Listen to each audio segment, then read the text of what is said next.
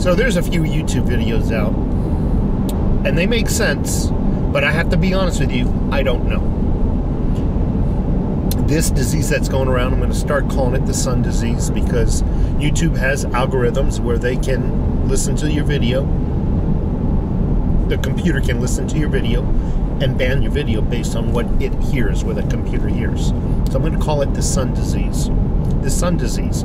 Everybody I know, and I know lots of people, they don't know anybody that has the sun disease. And when I ask them, well, do the people that you know know of anybody that has the sun disease? They say no. Now, granted, everybody's telling me, well, I got over the flu about a, a month ago. And the same thing. I got over the flu about a month ago. I was off of work for one or two days. And I know me, 50 something years on this planet, after I get over the flu, since the day I can remember, for about three weeks after I get over a cold or a flu, I have a cough. It's the way I am. But nobody that I know, and nobody that the folks that I know who know somebody, and in their inner circles, nobody knows anybody that has the sun disease. Yet the news is telling us that everybody has it. The hospitals are overwhelmed. It's apocalyptic. The scenes at all these hospitals. And they were naming these hospitals. And people were going down and recording at these hospitals, YouTube channels. Guess what? These hospitals were dead as a doornail. Nobody going in for any kind of illnesses. Emergency tents set up front that are vacant. Honest to God, now when they post a news article, they stop naming the hospitals because they don't want anybody going down and filming them. I'm not saying that this sun degree uh, disease is fake. I'm telling you what I saw on other YouTube channels. And some of them are saying that they are trying to frighten everybody to stay in their home. They say there is a sun disease. I want to clarify it. They say, these YouTube channels are saying there is a sun disease, but it's not, it is not to the expanse that the news media outlets are, are telling us. The sun disease came out, and then our government decided to utilize it for its plan.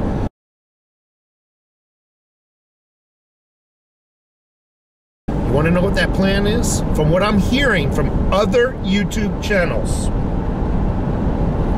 it's to go after the corrupt elite. They want us in our homes. They want us off the streets because they're afraid of false flag operations against us.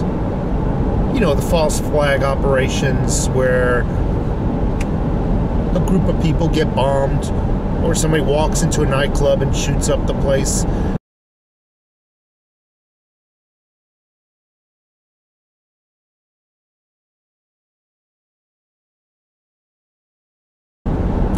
They want us off the streets, and they say the go date is approximately April 6th. Approximately April 6th, where they're going to start arresting much of the elite. And the elite are in panic mode, according to these YouTube channels. And again, you start watching their videos, and you start watching the videos of the hospitals that the news claimed was just overbeared with patients. The hospitals freaking are dead. So I don't know what to think. I come to a conclusion that I know nobody with this illness. The people I know don't know anybody with this illness. The news is telling us that everybody has it. Stay at home. All the hospitals are overwhelmed. Don't go, you know, don't go there unless it's an emergency. YouTube channels are going out there and filming these hospitals. And these hospitals turn up to be quite the opposite. Very quiet. No ambulances going in and out. No patients. No nothing. What, what, what are you to think? Now the now when you see a news article, they're no longer naming hospitals because they don't want people going and filming. What are, what are you to think? Just curious.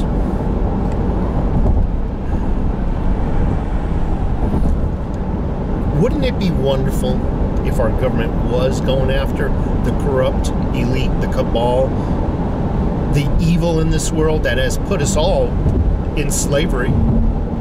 I coined I coined that statement. I coined that phrase, slavery never ended. It was perfected. Aren't we all slaves? Don't we all go to work, shell out close to 50%, if not more, of our work in the form of taxes by the time you pay your federal, your state, and then every transaction after you get your paycheck is taxed. Everything from what you want to do to your house to to to a permission slip to go fishing. Permit. That means permission. It's short for permission. Every little transaction there's been some news channels that have calculated we actually pay close to 70% after you calculate every transaction after we receive our paycheck. It's close to 70% into taxes, everything from gas to sales and everything. So that means we're working for 30% pay. Does that seem right?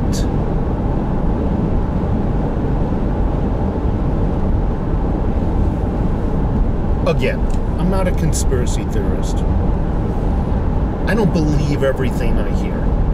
But when you see these videos, they are very compelling.